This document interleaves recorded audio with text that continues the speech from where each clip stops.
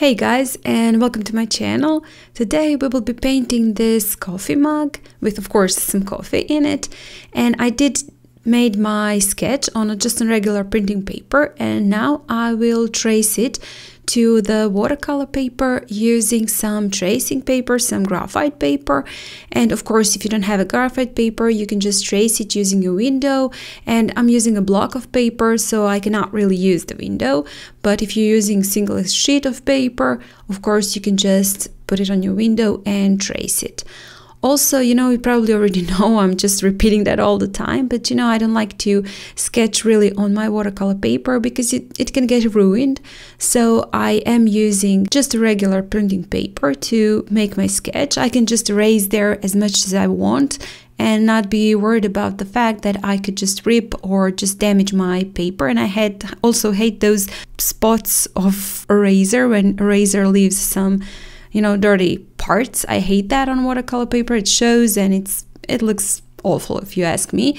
And after tracing my sketch, I just used a kneaded eraser, artist eraser, just to not really to lighten it because this paint this uh, painting will be quite saturated and dark and wouldn't be visible, but just to pick up the excess graphite. Afterwards, I pre-wetted the entire paper and then started to paint. But you know, it did my paint, of course, did bleed outside the borders of my cup and also this little saucer. Is it a saucer?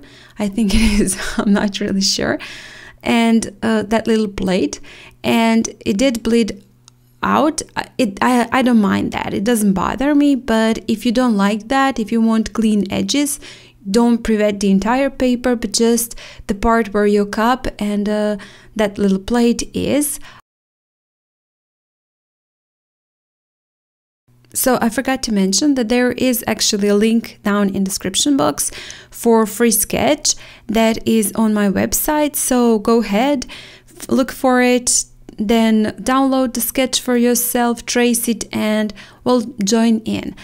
I've used some turquoise blue and azure to paint in the first layer and I did quite light layer, not, uh, not too light, but it is light. Then I added a little bit more of azure and painted in the left side of my cup because I want that part to look as though it is in shadow or the right part to look as though the light is hitting on it. So it is the lightest.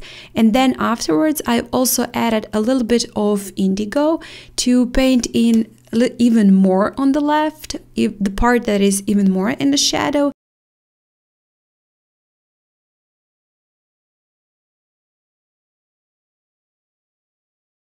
and just on the edge of the cup I've added even more indigo even more saturated indigo because that part will actually be the darkest. I will later on add some neutral black also to make it quite dark.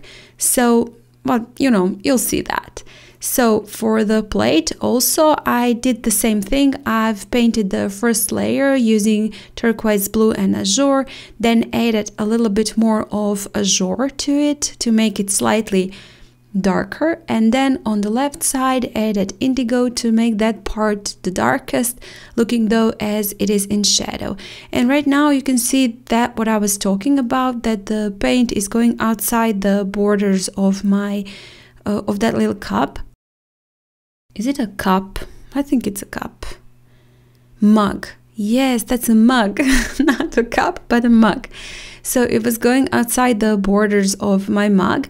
But as I said, I'm not bothered with that. I will use later on some white gouache, so it won't probably be so visible.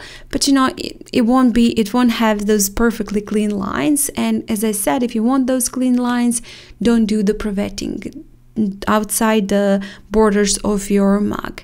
Then later on, I'm painting that handle with also the same colors and I will be adding some parts a little bit of indigo to make it a little bit darker. Again looking though looking though as if there are in a shadow.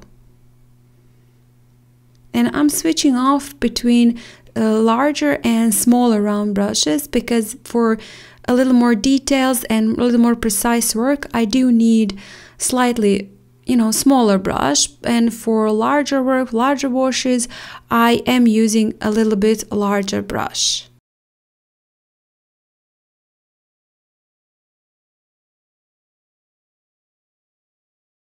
So right now I am using that neutral black to paint in the darkest parts of my mug that are on the left side. And this time I did not pre-wet the paper but I'm just painting wet on wet on dry.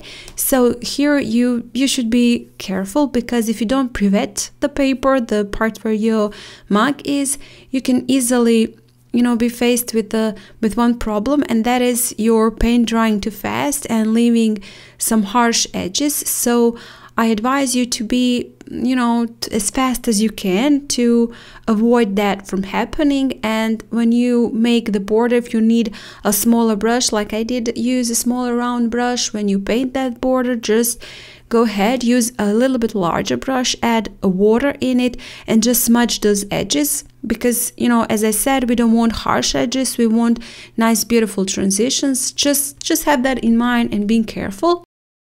Also, I've added now on the middle part a little bit again of that mix of azure and turquoise blue and just left the left the right side i'm sorry i'm having trouble with the sides you know maybe you've noticed in my videos that sometimes they say left but it's actually right and i'm saying right but it's actually left so i just want you to know that you know i do have a problem with that and probably there will be times i'm really, really careful and I'm really thinking about it. But you know, there probably will be times that I will say left and I meant right and, you know, other way around. So just have that in mind, you know, you can see where it is, you know, you can always see I'm not, I'm not saying and, you know, just you're thinking, what's she saying? So, you know, just keep that in mind. Yeah, I do have a problem with that. Left, right. My husband always says to me, you know, how can you how can you make that mistake so much? There's just 50 50 chances, you know. How can you almost every time say the wrong thing? I don't know. I guess I think that left is right and right is left. And what can I say? What can I say? I have a problem with that. But you know, I'm not really bothered. We're just we're just joking with that. So right now I'm also adding a little bit of that neutral black, that dark, dark color for the darkest shadows.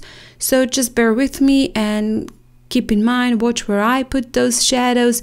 And you know, the light is hitting from slightly above and on the right side so those parts are lightest and well the left sides are the darkest the inside of that plate, so little saucer, I'm painting in with again those mix of azure and turquoise blue.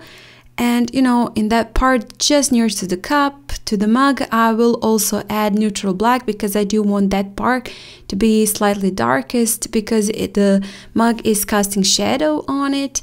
So the right side of the plate will be a little bit lighter than the left side of it.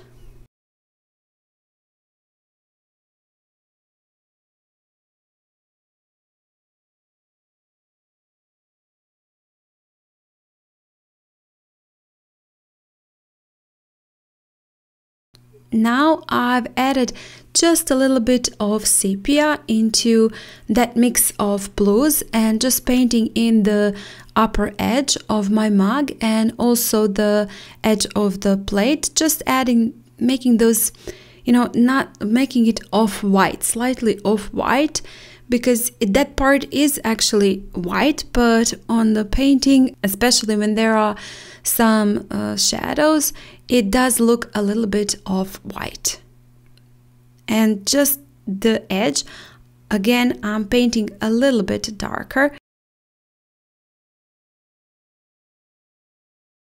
I will be, as I said earlier, adding a little bit of white gouache, making it lighter in some places. There you go, you can see right now. I'm just picking up some white gouache with a detail brush and adding it on the edge of my mug on the top edge of the mug and also I will be adding on the edge of the plate. And on some other places where I think the light is hitting the most and that are actually reflecting that light.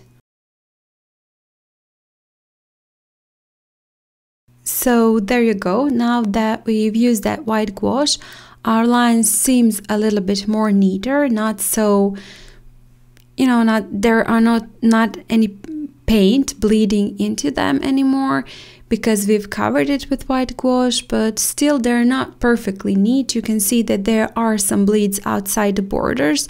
And as I said earlier, if that bothers you, just don't pre-wet the entire paper but you know actually i like that i like that it's not so perfect and it, that it goes a little bit outside the borders and probably if you've seen any previous my videos when i was painting also some coffee or painting some fruit or something like that i've always went with a with a light wash of paint outside the borders of my subject whatever it is because i actually do like it. I do like it a little bit outside the border. It just gives me you know a little bit of edginess and it's not so sharp and so perfect because i don't really like to paint very realistically. Every painting I do, maybe it is somewhat realistic, but I do like to put my stamp on it and I do like to make it slightly looser, you know, at least a little bit looking like slightly looser.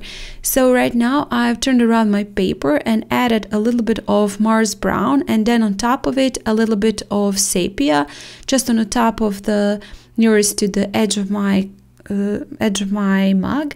And then use the spray bottle. This is just a deo, deodorant spray bottle and sprayed some paint because I did want it to bleed. And as I said earlier look like there is some steam going outside the outside the cup. And then at just at the very bottom again I'm adding a little bit more of that sepia just to make an impression that there is some coffee and also adding a little bit of Mars Brown and some sprinkles of Mars Brown and then spraying it again with water.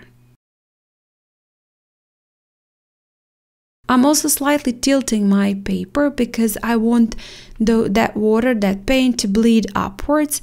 And as you can see, I'm also turning it here and there on one side, on the other side, just to make that paint go here and there. And again, I did not pre-wet the paper. I've just used that spray bottle to spread the paint on my paper.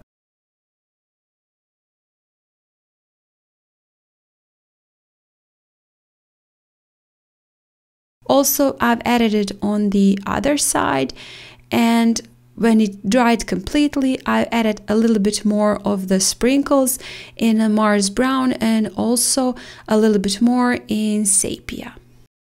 At the end, I did a couple of more details with white gouache and also made the part where the table is a little bit shadow on it know, I'm not really sure that it's a shadow. Maybe it's not really a shadow, but just you know some something to look as though that cup that mug isn't floating in the air but is sitting on something. And well with that i'll be finishing off my painting and of course this video. Thank you guys a lot for watching. I hope you like it. And if you do please hit the like button share it comment and if you haven't still, please subscribe to my channel. It would really mean a lot to me. And without further ado, I hope I'll see you next time. Bye!